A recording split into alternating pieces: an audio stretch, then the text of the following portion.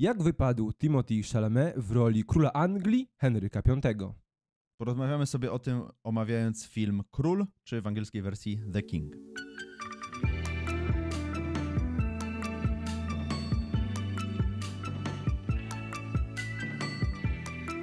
Cześć, witamy Was bardzo serdecznie, tutaj Kamil. I Rafał. A dzisiaj w materiale na kanale Be My Hero porozmawiamy sobie o prawdziwym herosie, czyli królu Anglii Henryku V, wokół którego rozpościera się wielka legenda tego, który podbił Francję.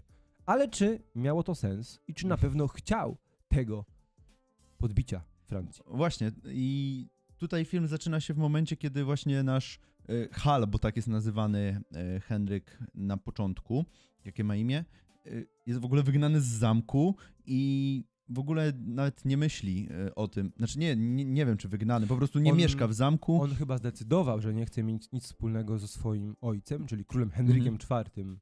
Kiedy y, poznajemy go w momencie, kiedy on faktycznie nie chce y, mieszkać w tym zamku, wyrzekł się rodziny, nie mieszka wśród pospólstwa y, i tak naprawdę mm, nie ciągnie go, nie ciągnie go do, tych, do tego szlachectwa, do tej, do tej władzy. On przede wszystkim chce pomagać ludziom. Y, Co czyni? Jest takim jakby lekarzem wioskowym. Tak, ale większość swojego dnia spędza na e, tańcach pici, i piciu alkoholu i później odchorowywaniu Mhm. tego picia alkoholu i tańców. Tylko, że faktycznie ma swoich dwóch em, bardzo bliskich przyjaciół, którzy są takim pewnym rodza- pewnego rodzaju też jego enturażem, no bo w końcu jest księciem, ciągle jest księciem, kimś bardzo Mhm. znaczącym e, i nie pali się faktycznie do bycia władcą, bycia królem, mimo że jest najstarszym synem króla, więc jakby jest pierwszy do tronu, e, ale to się bardzo szybko zmienia, bo widzimy, że on jednak ma pojęcie o tym, jak chciałby rządzić krajem. Właśnie, bo to nie jest tak, że on jest e, tylko i wyłącznie zapijaczony i cały dzień e, leży i makaca, bo faktycznie e, przed samym przejęciem władzy mamy kilka takich przebłysków, kiedy e, Henryk mm, faktycznie pojawia się na polu bitwy albo rozmawia z kimś. Mamy te takie sceny pokazujące, że naprawdę mógłby być dobrym przywódcą, gdyby chciał, e, co ma później odzwierciedlenie też w finale tego filmu. Tak, bo musimy umiejscowić ten film w czasie, bo jest to film bazujący na prawdziwych wydarzeniach historycznych. Początek XV wieku, Anglia jest targana różnymi konfliktami wewnętrznymi, bo buntują się Szkoci, buntują się Walijczycy, e, z za kanału La Manche e, problemy także pojawiają się, jeśli chodzi o Francję i Mhm. ich rzekome zakusy o, mm, o tron e, angielski, brytyjski.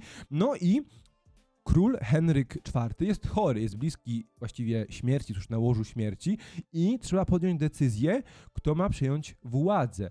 I z racji tego, że ani Hal, ani też król Henryk nie chcą, e, aby to on zasiadł na tronie, kolejnym jakby pierwszym wyborem panującego króla jest jego syn Tomas, który jest jednak młodszy, zdecydowanie chyba młodszy od e, Hala, który jest bardzo chętny do bitki.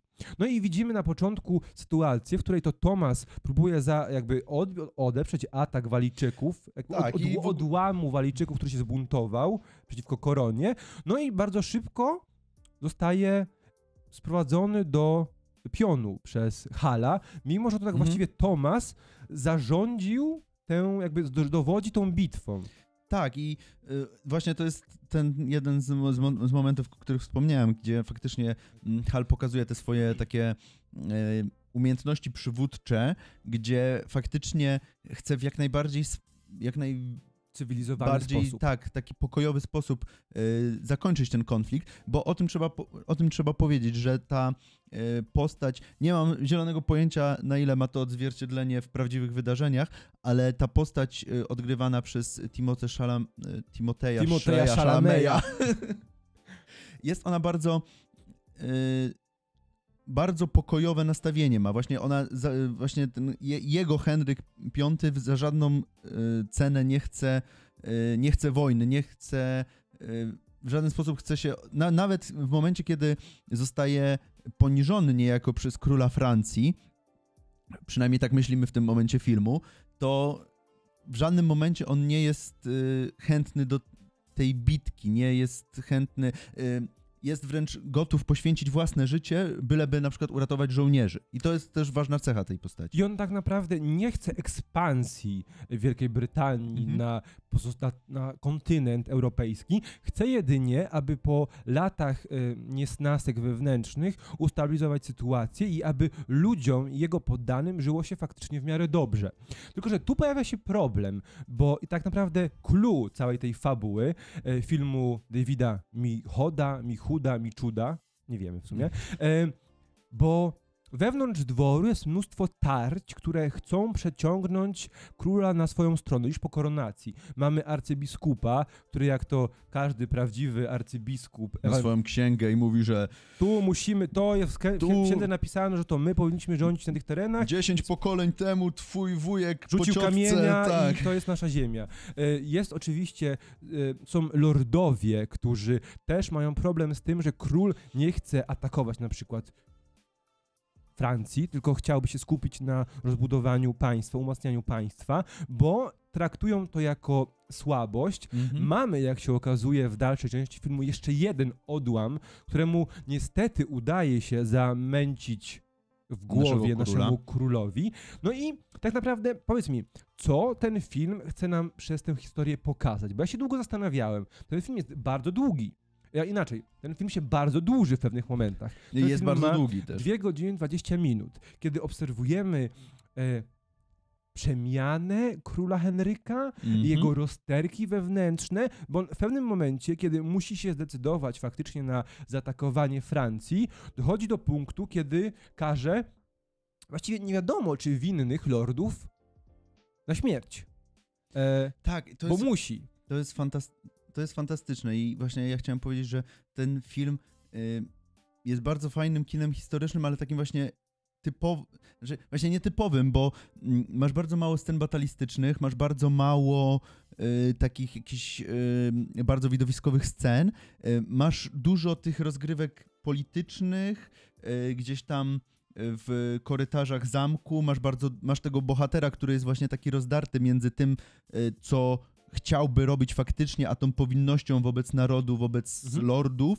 Ym, I przez bardzo długi czas tego filmu i y, ja rozumiem, że ten film jest nie dla każdego i że on naprawdę pewno, bardzo pewno. dużo, ba, bardzo wielu osobom może się faktycznie dłużyć, może być y, przeciągnięty za bardzo, ale ja właśnie wszystkie, całą tą, całą tą grę i całe te rozterki Henryka V chłonąłem i no, mi się to oglądało bardzo przyjemnie. To jest takie trochę House of Cards w XV wieku w Anglii. Nie film faktycznie historyczny, nastawiony na batalistykę i wielkie I przemówienia. też, i też nie, nie nastawiony na odwzorowanie wydarzeń w 100%. Tak, i też jakby, co ciekawe, i to jest chyba jego najmocniejsza strona, w ogóle nie, mm, nie puentuje, nie próbuje nam wmówić, że król jest dobry albo jest zły. Jego postępowanie było dobre albo złe, bo jak się okazuje na końcu, to on był przez pewien sposób, pewien sposób i przez pewien czas bardzo mocno manipulowany, a nie zdawał sobie z tego sprawę. Mhm. I na końcu, mimo że on w wielu momentach zachowuje stoicki spokój, on podejmuje bardzo racjonalne decyzje, woli poświęcić siebie, woli wybrać mniejsze zło, na przykład y, skazując na śmierć grupę, tylko grupę swoich żołnierzy, resztę ratując, ale im dalej widzimy, że potrafi podjąć bardzo irracjonalną decyzję, na przykład mówiąc, w takim razie zabijmy wszystkich niewolników. Tak, ale to jest też e, jakby to jego zachowanie w końcówce filmu nie wynika jakby znikąd, bo Oczywiście. to jest to odkąd on przejmuje władzę w państwie, to stopniowo narasta i cały czas narasta tak naprawdę i to jest taka jedna wielka kula śniegowa, która go, która pęka w momencie właśnie w tych, y, w już po finałowej bitwie, kiedy dowiadujemy się tego, co się dowiadujemy, czego nie powiemy.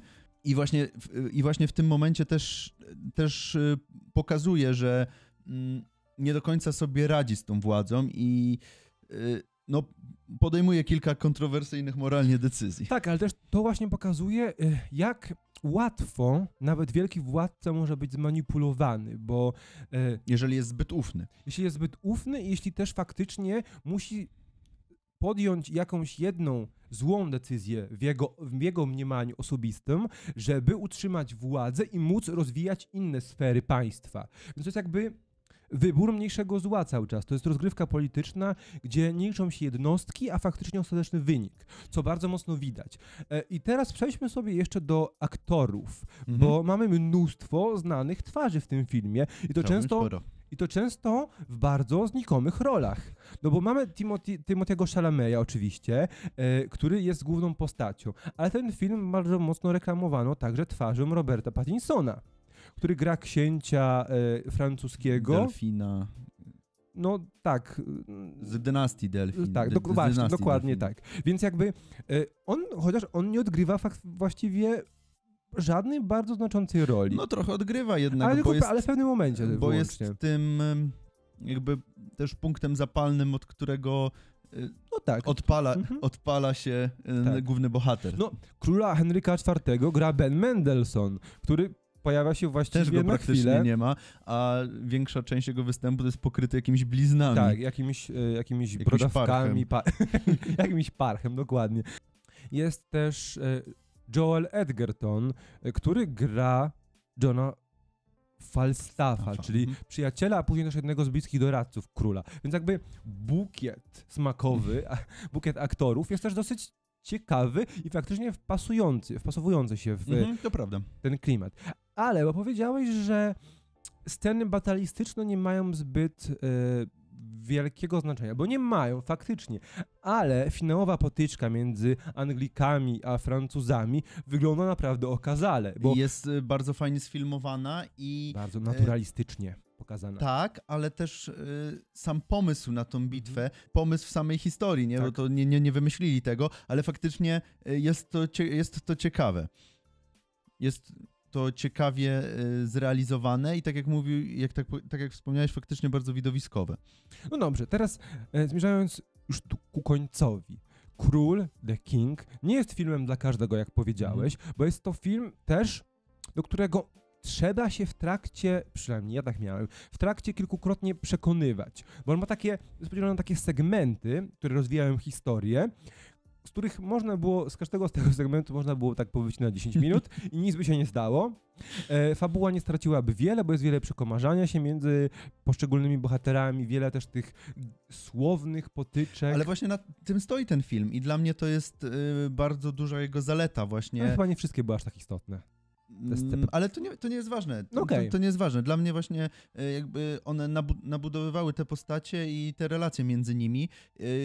I jeżeli lubicie coś takiego, właśnie film nastawiony bardziej na dialogi między postaciami, to zdecydowanie warto się zanurzyć w ten świat. Tak, bo jednak ta wielka intryga e, brytyjsko-angielsko-francuska jest czymś naprawdę wartym śledzenia podczas rozwoju tego, tej fabuły, tego filmu i tego, jak te postacie próbują ugrać coś dla siebie. Tak więc, jeśli lubicie filmy polityczne, które, do, którego, do których można dorzucić też ten element kostiumowy, element historyczny, no to Król na pewno jest filmem dla was. Jeśli natomiast nudzą was te wszystkie e, potyczki polityczne i przekomarzanie się, szukanie sojuszów i próbowanie manipulowanie, manipulowanie władzą, no to musicie mieć na uwadze to, że tego jest zdecydowanie więcej niż tego kina typowo historycznego. Tak, i może wam się dłużyć po prostu ten seans. Oglądaliście Króla, bo jest to film, który właśnie pojawił się na Netflixie, więc możecie go spokojnie, legalnie obejrzeć w internecie. Jeśli tak,